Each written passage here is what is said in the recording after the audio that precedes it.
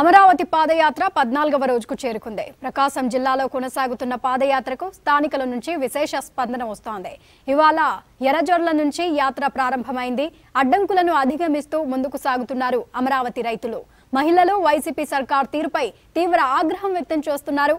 యాత్ర కొనసాగుతున్న తీరుపై మరింత సమాచారం మా ప్రతినిధి జనార్దన్ అందిస్తారు.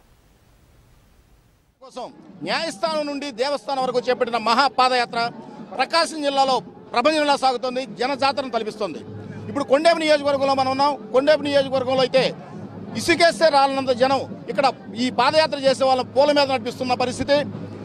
వందల వందల పాదాలతో ప్రారంభమైనటువంటి పాదయాత్రలో వేలాది పాదాలు కలుస్తుండటంతో ఒక ఈ వీధులన్నీ కూడా జనజాతరను తలపిస్తున్న పరిస్థితి. ఇప్పుడు మనతో పాటు కొండేపు ఎమ్మెల్యే స్వామి గారు ఉన్నారు.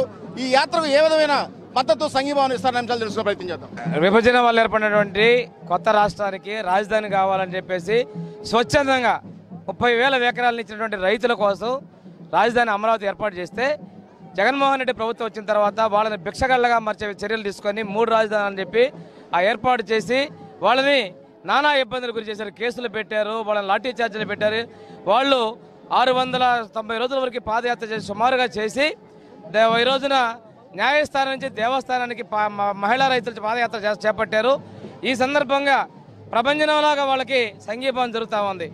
అడుగడుగున నీరాజనాలు పడుతూ ఉన్నారు. ఈరోజు మా కొండేం నియోజకవర్గంలో దళితులు బీసీలు అదేవిధంగా రెడ్డి కమ్మ యాదవ అన్ని వర్గాల ప్రజలు కూడా వాళ్ళకి సంఘీభావం ప్రకటిస్తూ ఉన్నారు. ఈ రాజధాని ఒక కులానికో ఒక మతానికో ఒక ప్రాంతానికో లేదు. ఈరోజు ముస్లిం పెద్దలు వచ్చేసి ముస్లిం జేఏసీ తరఫున ప్రార్థన చేసి స్వాగతం పలికారు. క్రిస్టియన్ సోదరులు వచ్చి క్రిస్టియన్ పాస్టర్ కూడా స్వా- ప్రార్థనలు చేసి స్వాగతం పలకడం జరిగింది.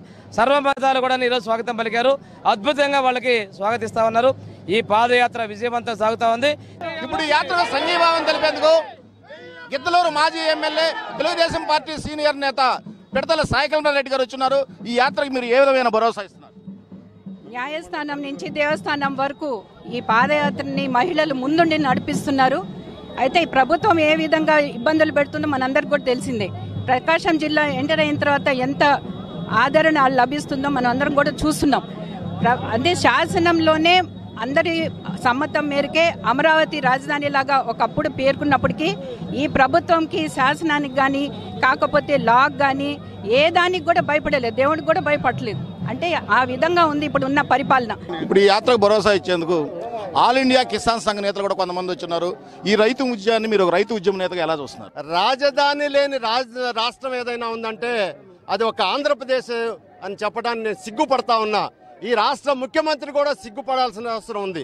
ఏదైతే ప్రధానమంత్రి భారతదేశంలో ఉన్నటువంటి పుణ్యక్షేత్రాల నుంచి మట్టి నీరు తీసుకొచ్చి శంకుస్థాపన చేసినటువంటి అమరావతి రాజధాని ఇవాళ ప్రశ్నార్థకంలో ఉందంటే ప్రధానమంత్రి ప్రారంభ శంకుస్థాపన చేసిన దానికే దిక్కు లేకపోతే ఈ రాష్ట్రం ఏ విధంగా ముందుకు పోతుందని నేను అడగదలుచుకున్నా. అయ్యా జగన్మోహన్ రెడ్డి గారు మీరు కులాల ప్రస్తావన తెస్తా ఉన్నారు ఇక్కడ. ఈ భూములు ఇచ్చిన వాళ్ళల్లో దళిత రైతులు కూడా ఉన్నారని చెప్పి నేను గుర్తు చేస్తా ఉన్నా.